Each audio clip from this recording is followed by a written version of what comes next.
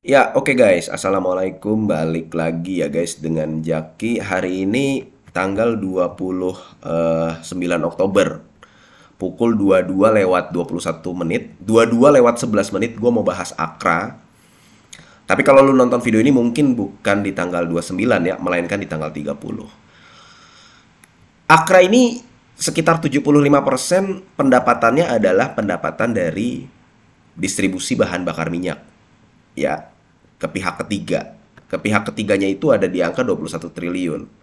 Total dari pendapatannya ada di angka 28 triliun. Ya.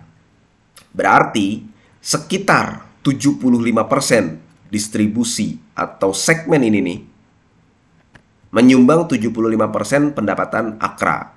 Jadi kalau misalkan ininya turun, otomatis pendapatan Akra juga turun. Dan kalau ini turun, otomatis juga mempengaruhi laba bersih dari Akra itu sendiri. Faktornya apa? Banyak. Akra kan jualan bensin juga, distribusi bensin. Distribusi bensin ini jangan jangan bahan bakar gitu ya, bahan bakar.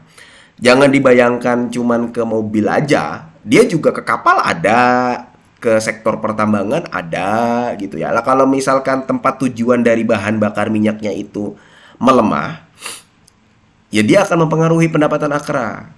Kayak begitu.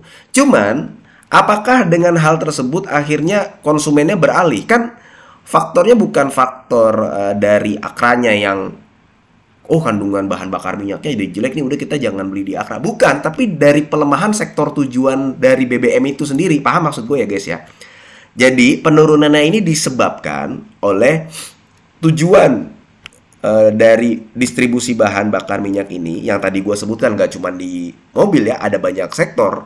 Ada di kapal, ada di pertambangan dan sebagainya. Di situ tujuan BBM-nya melemah sehingga mempengaruhi distribusinya. Tapi bukan serta-merta merek atau produknya Akra ini dijauhi gitu loh guys.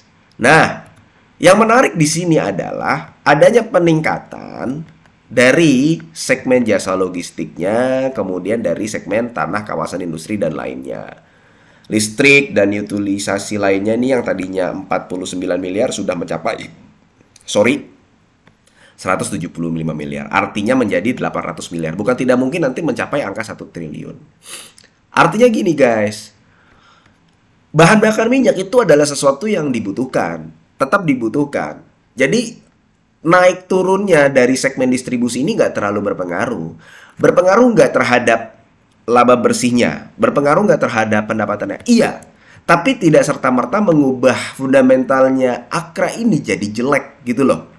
Nggak kayak Unilever, ini beda segmen tapi gue coba bandingkan ya. Unilever, karena ada boykot, mempengaruhi pendapatan dan sementara aksi boykotnya berjalan, ketika aksi boykotnya melemah mungkin nggak serta merta orang balik lagi ke Unilever dia udah menemukan produk penggantinya. Tapi kalau ini nggak, ini karena memang ada penurunan volume perdagangan bahan bakar aja, sehingga memang pasti mempengaruhi pendapatan dan laba bersihnya. Otomatis kalau pendapatan dan laba bersihnya berkurang, ya Akra ini akan berkurang juga, akan turun juga untuk sahamnya. Nah sekarang harga sahamnya di angka 1350. Kalau value investing nggak akan suka dengan saham ini. Kenapa? Karena PBV-nya gede guys. PBV-nya gede ya. Uh, kemudian uh, pernya juga di atas 10. Nggak akan suka dengan saham seperti ini. Kenapa gue, nah, kenapa gue suka? Termasuk salah satu saham yang ada di portofolio gue ya. Walaupun uh, saham Akra ini nggak mendominasi porto. Porsinya nggak, bukan porsi yang mendominasi, bukan porsi yang besar paling besar gitu nggak. Kenapa gue suka? Karena perusahaan ini dengan berbagai lini bisnis yang dia miliki, ya berpotensi meningkatkan net profit marginnya. Sekarang memang lagi turun, kan tadinya 3%, 5%, 4%, 5%, sempat naik jadi 26% di tahun 2023. Tahun 2023 apa? Ya karena ada kenaikan di, di sini juga. Di sektor distribusinya juga.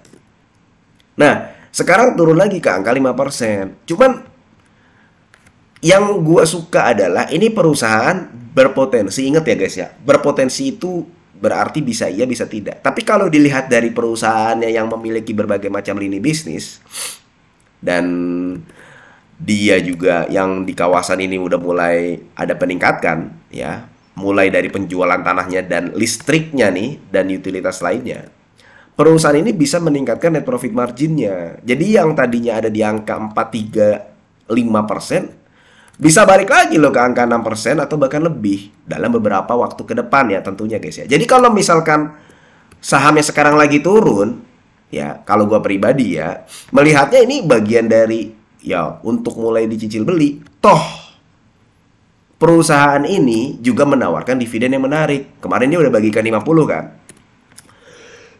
Seluruh laba bersihnya dibagikan yang di semester 1 dibagikan sebagai dividen interim di bulan Agustus tahun 2024. Apakah dividen finalnya bisa mencapai seperti itu? Ya belum tahu. Tapi kalau kita lihat ya, misalkan dia membagikan dividen 75 aja 75 per lembar. Total antara interim dengan final 75 per lembar. Dibanding harga sekarang saat ini ada di angka 1350. Berarti kan yield yang ditawarkan adalah 5%. 5%, 5,5% itu kalau lu nelen uh, interim dan finalnya. Yang ditawarkan 5%. Artinya ya di harga 1300 ini sudah termasuk murah secara potensi dividen yang ditawarkan. Bukan murah banget sih, tapi menarik lah untuk dikoleksi. Apalagi ini perusahaan eh, segmennya adalah segmen distribusi bahan bakar minyak yang ya semua juga menggunakan lah. Kayak gitu guys. Dan Arkra juga ya itu lini bisnisnya banyak itu yang gue suka dia lini bisnisnya banyak kemudian perusahaannya juga nggak diem aja akhirnya karena tadi ya meskipun sahamnya turun tapi dia bisa dia bisa ngasih jaring pengaman yang berupa dividen itu yang sebesar 5,5 persen. Bisa nggak nanti dia di tahun berikutnya labanya stagnan? Bisa aja. Di tahun 2025 misalkan. Tapi paling tidak kan hitung-hitungan 75 perak per lembar itu udah di tangan. Baik interim baik final. Dengan kondisi laba yang stagnan aja misalkan di tahun 2025 ya yield yang ditawarkan 5%. Tapi apa iya dengan kondisi sisa si perusahaan yang tadi gue sebutkan ya, dia dia tanah di segmen ininya mulai meningkat, kemudian yang di Freeport juga ada di sana. Kemudian belum nanti diikuti dengan beberapa beberapa perusahaan yang mulai berinvestasi di wilayah Gresik itu. Jadi Akra itu penurunannya sebenarnya menarik. Kayak gitu guys. Cuman memang kayak gini guys. Jumlah investornya makin bertambah nih. Yang tadinya April, Mei, dan Juni waktu di harga dia sempat tinggi loh. Sempat tinggi sampai di angka segini nih. Secara year to date. Sampai naik di angka segini nih. Ya 1700, 1800. Itu waktu jumlah investornya ada di angka 14.000, 13.000 nih guys. Paling tidak sampai Juni lah. Ya, sampai Juni eh dia mulai nih mulai mulai banyak nih di sini nih jadi 21 ribu di mulai bulan Juli nah ini nih guys mulai bulan Juli nih bulan Juli tanggal tahun 2024 ya Oke okay lah, kita nggak terlalu lihat itunya ya. Walaupun itu sebenarnya mempengaruhi sih. Artinya semakin banyak yang megang saham ini, semakin mempengaruhi juga. Naiknya biasanya agak lama. Tapi yang jelas, secara uh, prospek, ya Akra ini masih menarik. Apalagi kalau misalkan dia bisa meningkatkan di segmen ininya nih. Ya, di sini. Karena segmen ini nih marginnya gede loh, guys. Marginnya gede. Coba kita lihat ya. Marginnya tuh besar.